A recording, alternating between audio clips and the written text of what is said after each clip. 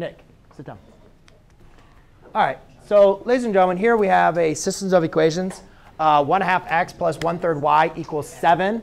And 1 fifth x minus 2 thirds y equals negative 2. Now again, when we're looking into applying this algebraically, we, a lot of times we're looking at applying eliminate or substitution if we have a coefficient of any of our variables equal to 1, which in this case we do not, right? So the next thing we want to look at is using elimination. And elimination basically is just adding or subtracting our two equations.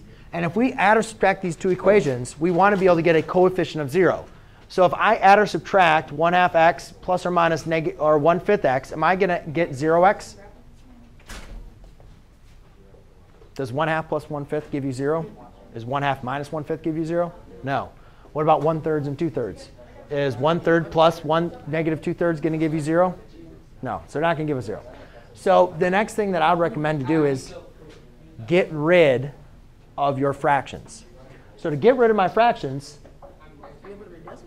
nope. I want to get rid of, why are these, the reason why these are decimals is because 2 does not evenly go into 1. So you want to multiply it. So you want to get the numerator into a number that is evenly divisible by 2. Well, you also need to get into a number that is evenly divisible by 3. So what is the smallest number that 2 and 3 are divisible by? 6. So I'm going to multiply everything by 6. Now, same thing over here. We need to find a number that 5 is divisible into and 3 is divisible into. And that smallest number is? Then we apply the distributive property. Yep, you have to do all three. So 6 times 1 half x is going to be 3x. 6 times 1 third y is going to be uh, 2y. 6 times 7 is equal to 42. Follow me? Then I do this one. 15 times 1 fifth x is going to be 3x. 15 times negative 2 thirds, just multiply over. 15 times negative 2 is negative 30.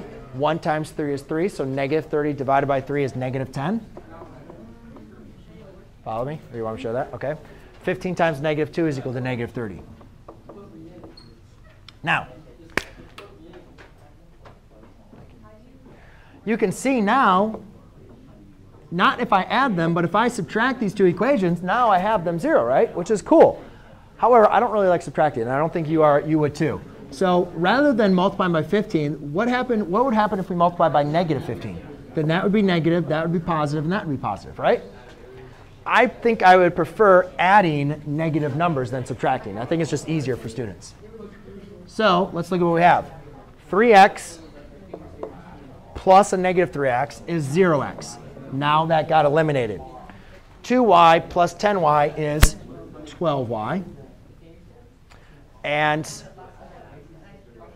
42 plus 30 is going to be 72.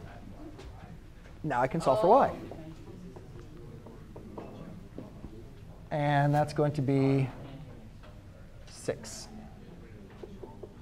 OK, so now I know the value of 6. And then to plug that in, you could plug it into one of these equations if you like.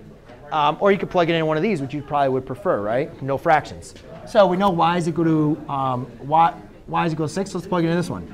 3x plus 2 times 6 equals 42. 2 times 6 is 12. Subtract 12. 3x equals 30. Divide by 3. Divide by 3. x equals 10. Done. OK? Now,